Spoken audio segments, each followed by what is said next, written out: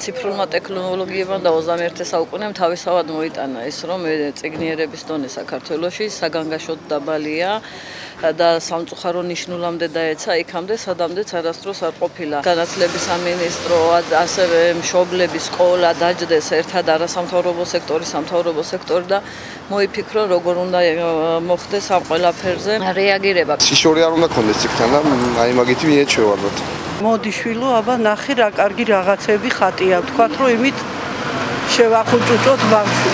სკოლა არსებობს ადამიანები ელემენტები უნდა დაწერონ. იმისთვის რომ ახალგაზრდობა წიგს არ მოწყდეს მით უმეტეს პანდემიის პირობებში და მით უმეტეს ონლაინ სამყაროში, როცა ონლაინ გვიწევს განათლების მიღებაც, მუშაობაც და ასე შემდეგ, ვფიქრობ ისე მშობლებმა უნდა ითამაშონ დიდი როლი, ანუ ბავშვებს თვითონ უნდა გამოიჩინონ ის ინიციატივა, რომ ბავშვებმა წიგნები წაიკითხონ. კომპიუტერმა დაღუპა და ტელეფონმა ჩვენი თაობა.